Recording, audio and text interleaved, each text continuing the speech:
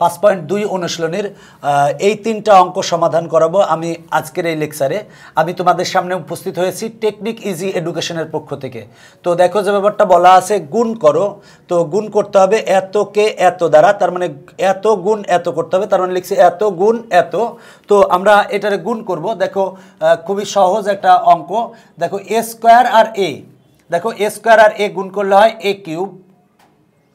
আর B square আর B গুণ করলে হয় বি কিউব ভাগ, দেখো যে ব্যাপারটা সি আর সি স্কোয়ার গুণ করলে হয় সি কিউব দেখো সি একটা সি আর সি স্কোয়ার মানে দুইটা সি তাহলে একটা সি আর দুইটা সি গুণ করলে হয় তিনটা সি তিনটা সিকে আমরা লিখতে পারি সি কিউব ডি আর ডি স্কোয়ার গুণ করলে হয় ডি কিউব ডি কিউব এটা হচ্ছে আমার অ্যান্সার দেখো আমার অ্যান্সার চলে এসেছে।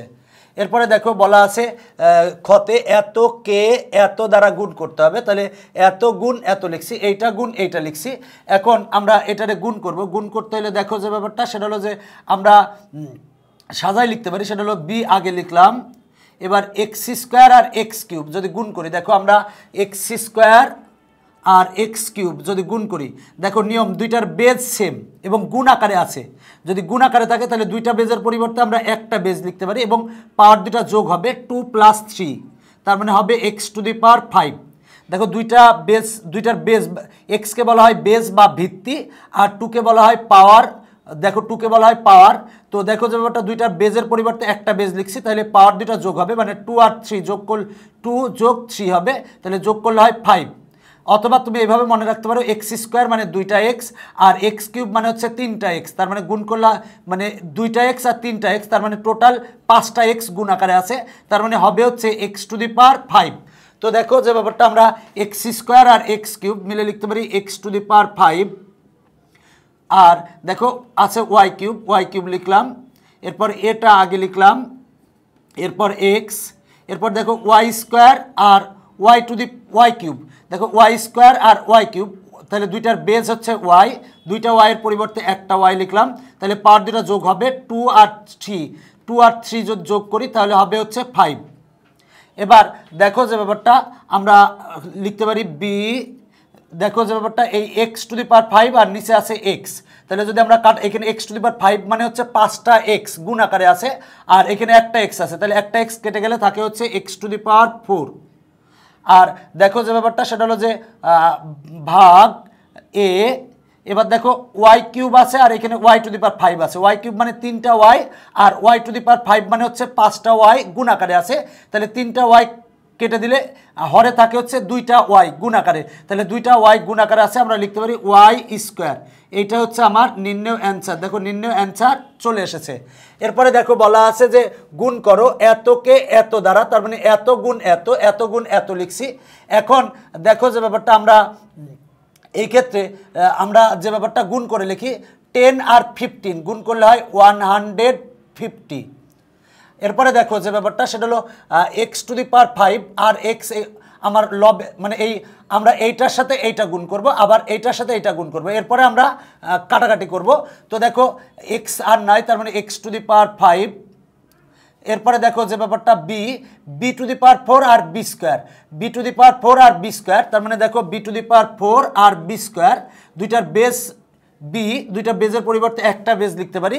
যেহেতু গুণ আকারে আছে, তাহলে পাওয়ার দুটা যোগ হবে মানে ফোর আর টু যোগ করলে হয় সিক্স তাহলে তার মানে আমরা লিখতে পারি b to the power six এরপরে দেখো আছে হচ্ছে জেড জেড কিউব আর জেড স্কোয়ার দেখো জেড কিউব আর জেড স্কোয়ার দুইটা জেডের পরিবর্তে একটা জেড লিখতে পারি।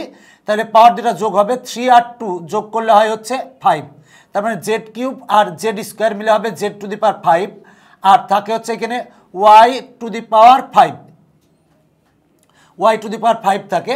এরপরে দেখো থ্রি আর টু যদি গুণ করি তাহলে হয় হচ্ছে সিক্স এরপরে দেখো এক্স স্কোয়ার আর এক্স গুণ করলে হয় এক্স কিউব এরপরে দেখো আছে হচ্ছে বি স্কোয়ার এরপরে আছে হচ্ছে জেড এরপরে আছে হচ্ছে ওয়াই স্কোয়ার এরপরে আছে হচ্ছে এ স্কোয়ার এরপরে আমরা এখন কাটাকাটি করব। যদি কাটাকাটি করি, দেখো একশো পঞ্চাশ ভাগ ছয়, কাটাকাটি করলে আসে হচ্ছে পঁচিশ।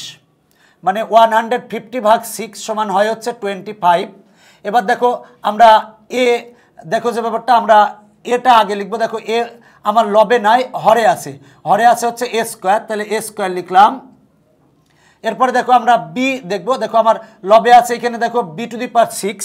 দেখো, আমার এখানে b to the power six আছে, আর এখানে আছে হচ্ছে বি স্কোয়ার।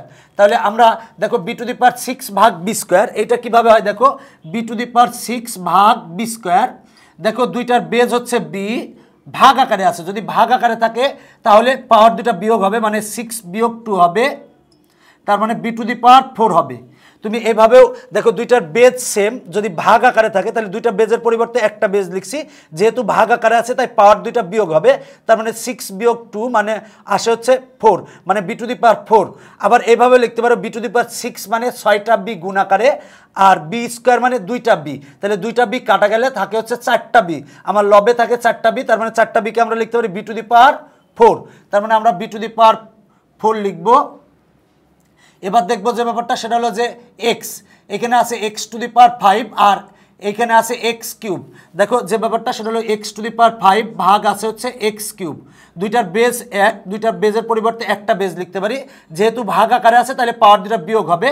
তার মানে ফাইভ বিয়োগ থ্রি সমান হয় হচ্ছে এক্স স্কোয়ার তার মানে আমার এখানে আসে হচ্ছে এক্স স্কোয়ার এরপরে দেখো y to the power five আছে এখানে, আর এখানে আছে ওয়াই স্কোয়ার তার মানে এখানে y to the power five মানে পাঁচটা ওয়াই গুণ, আর ওয়াই স্কোয়ার মানে দুইটা ওয়াই গুণ। তার মানে দুইটা ওয়াই কাটা গেল, থাকে হচ্ছে তিনটা ওয়াই তিনটা ওয়াইকে আমরা লিখতে পারি লিখতে পারি হচ্ছে ওয়াই কিউব এরপরে দেখো z to the power five দেখো z to the power five আর এখানে আছে হচ্ছে জেড তাহলে একটা জেড কেটে গেলে থাকে হচ্ছে z to the power four এটাই হচ্ছে আমার অ্যান্সার দেখো আমার নির্ণয় অ্যান্সার চলে এসেছে।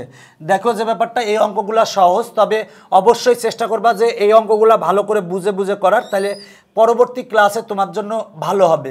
পরবর্তী ক্লাসে এই সূচক সম্পর্কিত চ্যাপ্টারই আছে অনেকগুলা। তো আশা করি যে এই অঙ্কগুলো যদি তুমি মানে প্রথম থেকে শেষ পর্যন্ত ভিডিও দেখো, সেক্ষেত্রে তোমার বুঝতে কষ্ট হওয়ার কথা না। আজকের পর্ব এখানেই শেষ করছি। পরবর্তীতে আবার দেখাবে ইনশাল্লাহ। Bye bye.